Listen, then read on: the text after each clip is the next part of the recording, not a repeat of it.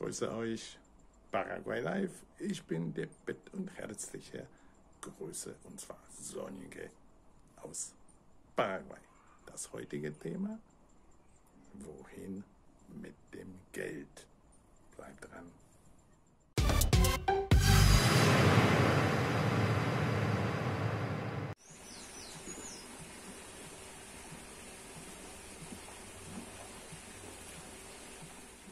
So, also wie gesagt, viele von euch haben es ja gefragt, wohin mit dem Geld. Und es geht hier natürlich nicht um Millionen von Dollar bzw. von Euros, sondern um Kleinanleger. Also ich spreche jetzt im Bereich von, ich sage mal, ab 10.000 Euro aufwärts. Und da gibt es natürlich richtige Probleme, das Geld richtig anzulegen. Also die Banken scheitern ja aus. Klar, also man bekommt kaum oder gar keine Prozente. Also, was bleibt übrig?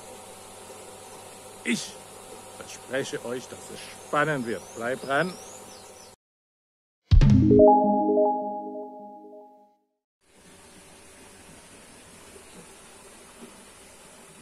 Also ich habe jetzt die Swimmingpool-Pumpe abgestellt. Da hört man mich auf jeden Fall besser. So, äh, zum Thema.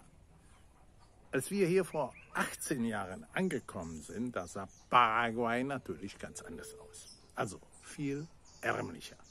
Und das war es auf jeden Fall, ja, die Reise wert, sich das Land Paraguay mittendrin in Südamerika anzuschauen und vor allem zu investieren. Und das ist das A und O. Man sollte meiner Ansicht nach nicht in der Schweiz, also in Deutschland investieren, da ist es schon viel zu spät. Ja, da sollte man vielleicht vor 20, 30 Jahren es tun. Aber jetzt, heutzutage, ist, denke ich, mal der Zug schon längst abgefahren. Warum Paraguay? Ich werde euch äh, im Laufe des Films zeigen, also einige Ausschnitte aus dem heutigen Paraguay. Das hat sich wirklich entwickelt, vor allem im Großraum Asunción, aber auch hier die Bereiche Cordillera und äh, andere Länder. Also das ist wirklich nichts mehr zu erkennen. Es wird viel investiert, viel, viel, viel amerikanische Dollar fließen hier nach Paraguay und dementsprechend sind die Gewinne auch höher. So, also wir konzentrieren uns eher auf die Kleinanleger, also kleine in Anführungszeichen.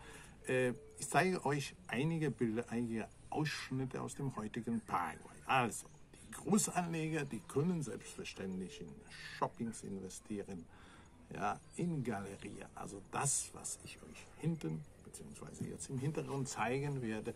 Also es gibt wirklich riesen Möglichkeiten, äh, große Gelder große US-Dollar-Beiträge zu investieren. Sowohl in Shoppingcenter in Form von Aktiengesellschaften logischerweise, ja, als auch in sogenannten Aquaparks, also Wasserparks, Vergnügungsparks. Also da werde ich auch ein paar Abschnitte zeigen und das ist also wirklich, wirklich ein Riesengebiet, wo man, wo man äh, Riesengewinne erzielt. Aber bleiben wir auf dem Boden der Tatsache. Und ich denke, ich spreche euch, vor allem euch Kleinanleger an. Und ich zeige euch einige Häuser, die man auch mit Top-Architekten erstellen kann. Also das ist wirklich unfassbar, wie gut, wie problemlos und wie sicher es hier in Paraguay funktioniert. Man darf ja auch nicht vergessen, dass äh, ich sag mal, das, was ich jetzt von Deutschland mich erinnere, und wie gesagt, ich bin ja 18 Jahre schon in Paraguay, also fast ein halber Paraguayer. Äh, da konnte man damals in Deutschland wirklich das Geld in Ruhe anlegen und hatte damals, denke ich mir, so um die 5, 6, 7 Prozent. Ich spreche noch nicht von den ganz guten Zeiten. Aber heutzutage gibt es das ja nicht mehr. Ja? Das heißt also, was konkret kann man ja machen? Also, wir können gerne nochmal über die Großanleger sprechen, aber um euch direkt jetzt anzusprechen, falls ihr 10, 20, 30.000 Euro übrig habt, könnt ihr natürlich selbstverständlich sicher und sehr gut das Geld in Paraguay anlegen und vor allem, wo? Ja, klar, die Grundstücke kaufen. Warum Grundstücke, sage ich euch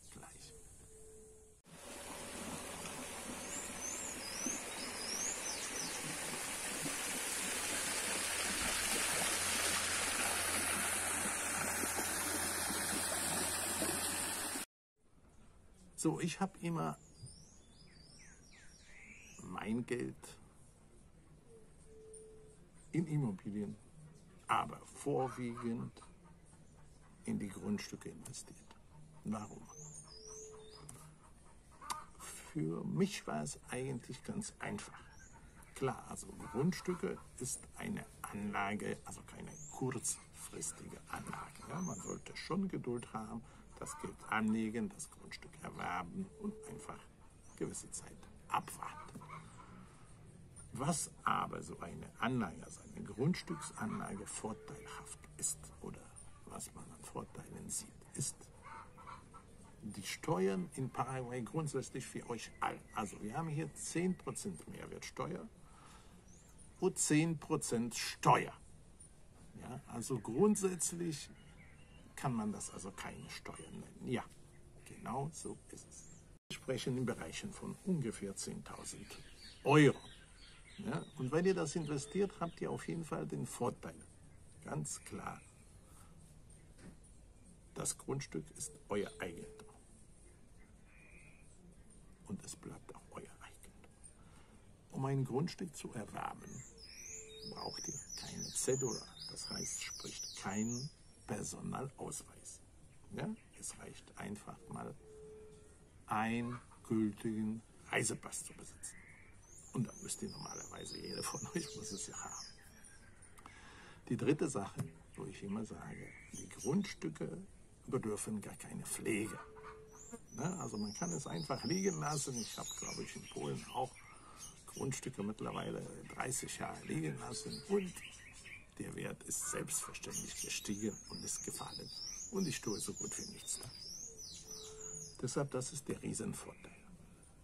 Die vierte Sache, die wirklich sehr wichtig ist, also hier in Paraguay, wie gesagt, kaum, kaum Steuern werden ja bezahlt.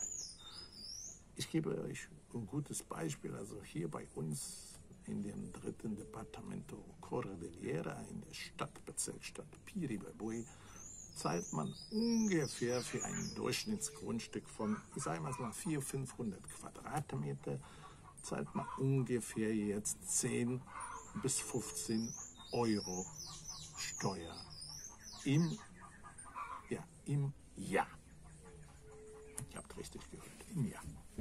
Wenn man die, das Geld übrig hat, sollte man auf jeden Fall das tun und in Grundstücke, genau genommen um Baugrundstücke hier in Paraguay und besonders in Piribeboi investieren. Die Stadt ist eine Touristenstadt, die entwickelt sich sehr schnell. Es werden sehr große Veränderungen vorgenommen. Da nehme ich noch einige Videos noch auf, wo ich euch die Bezirksstadt etwas näher bringe. Ohne Probleme online kaufen und online verkaufen. Top-Geschäft meiner Ansicht nach. Und man sollte sich einige Gedanken darüber machen. Okay? Falls ihr Fragen habt, wie immer unten bitte in der Beschreibung. Und sonst gebe ich selbstverständlich auch in der Beschreibung unsere Kontaktdaten, sprich E-Mail, Business WhatsApp, wo ihr mich und auch das ganze Paraguay Live Team erreichen könnt. Also einfach sich einige Überlegungen darüber machen. Kanal abonnieren, falls ihr noch nicht gemacht habt. Und das Video teilen. Sicherlich gibt es natürlich andere bekannten Freunde, die, die diese Informationen nötig haben, beziehungsweise schnell haben wollen. Also, das Video teilen, mach's gut, Likes nach oben und wir sehen uns im nächsten Video. Und wie gesagt, zum Schluss gebe ich euch weitere Empfehlungen aus unserem Paraguay Live-Kanal. In diesem Sinne, bleibt gesund, lasst euch da nicht kaputt kriegen in diesen schlimmen Corona-Zeiten. Immer gut dabei sein. Okay, mach's gut, bis zum nächsten Video. Ciao, ciao.